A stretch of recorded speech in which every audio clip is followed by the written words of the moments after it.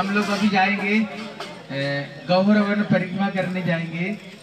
इसलिए ये जो कुंड दर्शन कर रहे हो इसका नाम श्री वृषभान कुंड है। क्या नाम? वृषभान कुंड है।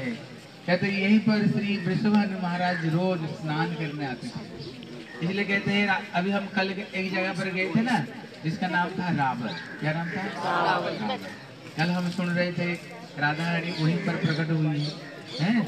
इसलिए कहते कल्प भेदे हरि कथा सुहागा कहते अलग अलग कल्प में भगवान की जो कथा है अलग अलग हो जाती है लेकिन किसी कल्प में जब वृषभानु महाराज यहीं रहा करते थे? यहीं पर रहते थे, रोज इसी कुंड में स्नान करने के लिए रोज आते थे एक दिन सवेरे सवेरे आए, स्नान करने के लिए देखा उन्होंने एक सतदल कमल पुष्प ऊपर में बड़ी सुंदरी एक प्यारी बालिका किलकारी मारते हुए, है, इसके ऊपर में किलकारी मारते हुए लेटे हुई है। इतने में श्री वृषभानु महाराज आए और यहीं से श्री राधा रानी को उन्होंने उठा करके ले गए। बोले, श्रीमती राधा रानी की वृषभान कुंड की इसलिए अभी हम लोग परिक्रमा करते हुए जाएँगे।